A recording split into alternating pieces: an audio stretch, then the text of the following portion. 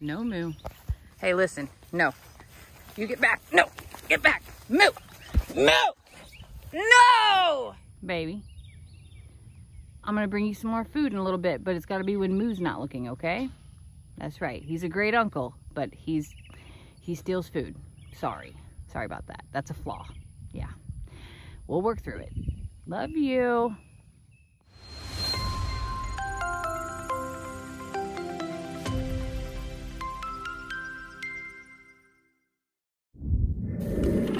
Good morning, beautiful girl. Hi, sweet Annebelle. Look what Daddy brought us. Oh, she just watched you pour that. Mama. She only. This is the problem. Hey, her poop is good. Really? That's good news. Are you feeling better, baby? Annebelle. Annebelle. Annebelle. Let me show you, baby. Aww. You gonna share with her? Moo is not very sharing in that realm. So far, the lessons that we've learned is that uh, Moo is a lot like Joey and doesn't share food. Yeah, Moo is Joey.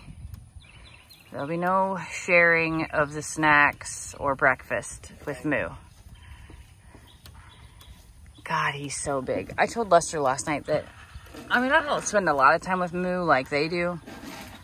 Mostly because I'm scared. Because if he stepped on my foot, I'd probably never walk again. But, oh, he did take a step over. Okay. Um, but I think that he's still growing. I think that if we measured him today, that he's taller than he was a year ago. And I'm not kidding about it. She can walk right under him. I know. That would be funny. So you have to get in her face with that? Like you have to, like, You have it out, you do it. All right. Yeah. She wants to be big and eat out of the trough, but she's not really there yet. Okay. Baby.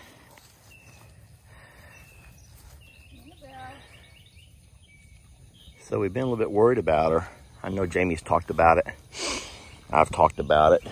I don't know if Jake's talked about it or not, but when she first came over, you know, a lot of cows can have an upset stomach from your ride over. And so she had a little bit of a, some scours.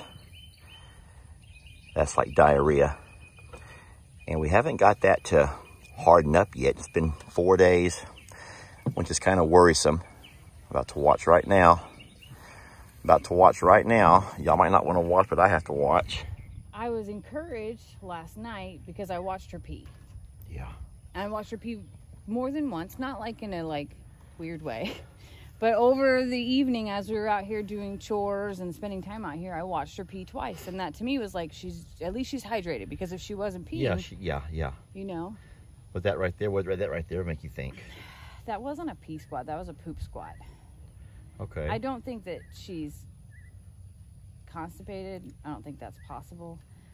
But well, she's not lethargic. She's moving around good. She actually looks better than she's looked the last two days. yes, she's looking better. But so I was going to say is sometimes when your GI tract, even humans, gets inflamed because you are not well, you have diarrhea, whatever. Your your body doesn't. It takes a while for it to heal. So you still get that urge to go, Yeah. but there might not be kind of like when you get the dry heaves, you know, Okay, from yeah. the other end. So I don't mean to be gross or anything like that, but Well, that's good. She's eating. I, I was She's, say she's that eating. grass is. I promise y'all, that grass is better for her than anything that you can buy out of a feed store as far as grains. Yeah, Good, clean grass. she got her medicine last night. She got her meds last night. Uh, everyone knows. You talk about how we took the horses and stuff off away so Yeah. they can't be a threat to her and what's add extra stress. what's silly though is the she actually likes them. She runs to them for protection a lot, and which is very strange. She'll run to the fence line, and you know who came up to her and who is really, really attached to her through the fence already is Donkey Dan. Oh yeah. look at Donkey Dan is already off here like watching her and is just so curious about her and I think that that's so neat. I think if we can get her past this illness part or this inflamed part, then we can get her open to everyone else, you know. But I uh Well, everything's stacked against her when you think about it. I mean, yeah, she's at a great, loving home. We have uh, you know, we have all kinds of uh, abundance of love, but she has to deal with this heat. Yes. She had to deal with the move over here. That was had to be traumatic. Not to mention she has to make new friends. Doesn't know who to trust. Then she comes to us with tons of uh, Emotional. emotional, yeah, because she's been scarred and she lost her mom. She's a survivor. I've said that since the beginning of what a, what Now- amazing story yeah. of survival. Now she has tummy issues, and so she's just really having to fight to adjust here. Yeah. I don't know if I'm repeating any of what you've already No, said no, in no, your I other videos. it's- Here's I your think it's camera. important. Here's your camera. I think it's important to talk about. I think it's I think for us to be able to just put a constant reminder out there of it's not a flip of a switch that you can recover from all of that. And sometimes it sneaks back up on you at the weirdest times and in weird ways. So her mental stress is causing obviously physical ailments and that's harsh, but it's reality. Doesn't necessarily mean that there's an infection or anything like that. You're blaming are you blaming your knee pain on stress right now? no, but what it's true. And you know, we have sent in her poop. I'm sorry that I said it, Annebelle. I'm sorry. And uh, under the microscope at first look, there's nothing. So they're setting it out for culture to see if there's any type of bacteria we need to be aware of. But so far, the diagnosis is simply stress. And we've got to de-stress that situation. And will. Can you please announce her breed? Oh, Brahma. When people say Bremer, but it's Brahma. Yeah. And now the French one you have to go with. Chal, Charlet, Charloy, Charlotte. Charloy. I don't know. I can't pronounce it. I Oh. in my first in my first video I said Oh, it you and I was talked about that. well what I said was I was like it's Charloy or Chartreuse or like are gonna get onto it, charcuterie in other words that I can't say. hey, listen, they may call me Longhorn Lester, but I'm not a cattleman. I'm standing an ants or something. All right, just tell them, Jamie. They may call me Longhorn Lester, but I'm not a cattleman. He's a longhorn guy, okay? He can pronounce that one. Oh, I want her so badly to eat. I want her to eat that grain. I know that she will. She got uh, her first full day in the pasture was yesterday, a full 24 hours. So today's day two, and being out here is a whole lot different than being in the stall. Obviously, I um. Oh, that's so good. That's so good now so that moo doesn't take it from her. She doesn't need a ton of green, but she needs some. And P.S., that's where her medicine is in.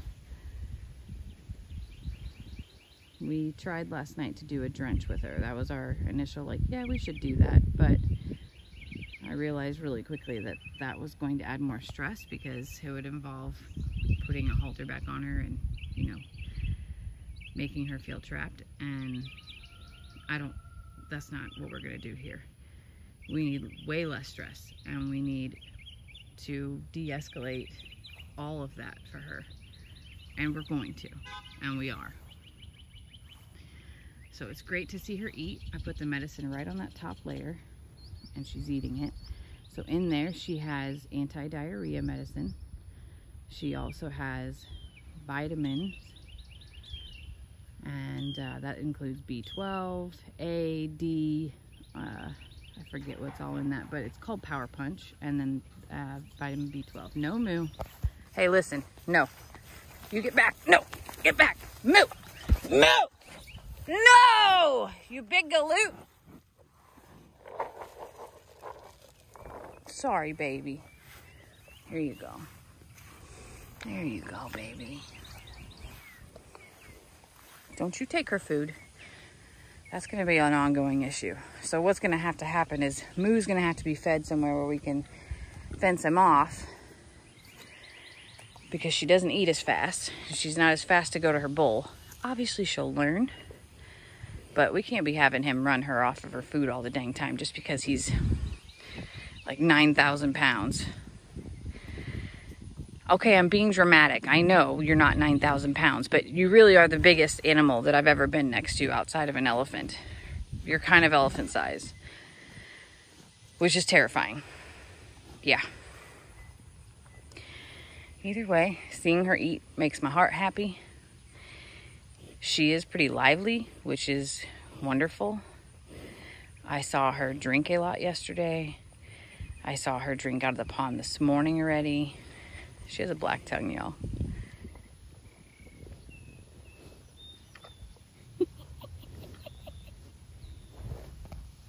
God, I love her. Her face is just, I just can't get enough of it. I love when her ears listen to me. Look, there they did it again. And I love it whenever she just feels the need to make contact. Moo? Stop it! I'm sorry, baby. I'm not gonna let him take all your food.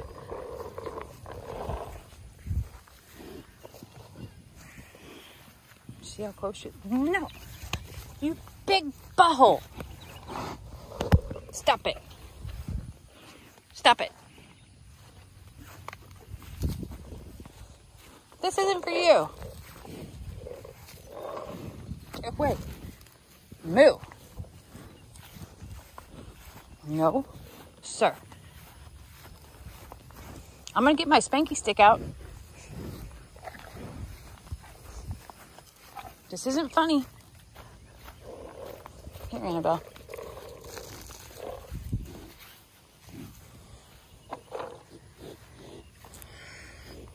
Not here having a moment. And Moo's gotta ruin it. Now you have it all over the floor there. That's mean. Yeah, look, I don't have any more. Go ahead, Annebelle. I left just a little bit in there for her. Aw, baby, you eat it. Go ahead. Okay, there's just enough left in there.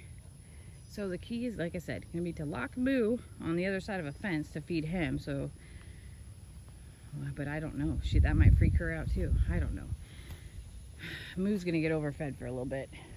It's the only other solution I have right now. Which is fine. It turns out his body his body's got room for it. He's certainly not fat. He's just freaking giant. Not you, baby. Not you. You're beautiful. Don't worry. I'm you can be mad at him. Just don't be mad at me. Okay, so that's even funnier. The underside of her tongue is pink. the top side is black. You got a two-tone tongue. Oh, baby, I'm sorry. I'll go get you more food.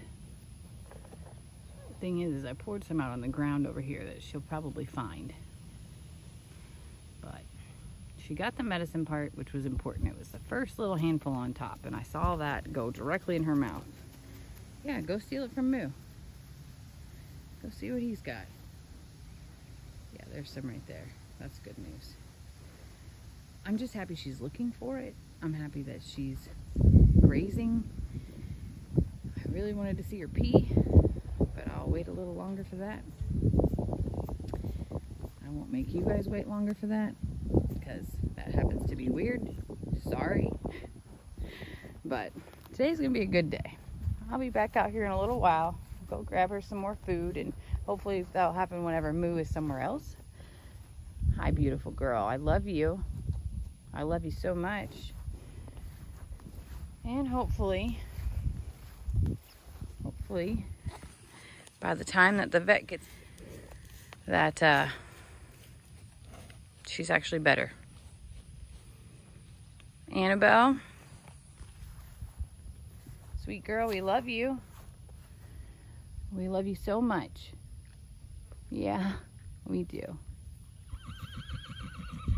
We love you too. Those poor babies. They get so neglected. They get so neglected, baby. What do you think about those noises? She's like, I don't know. Okay. You have a good morning, okay? I'll be back out here in a little bit with some more food. We're going to sneak it in so Moo doesn't see. Now, what you wanted to hear? Annebelle, baby. I'm going to bring you some more food in a little bit, but it's got to be when Moo's not looking, okay? That's right. He's a great uncle, but he's he steals food. Sorry. Sorry about that. That's a flaw. Yeah. we'll work through it. Love you.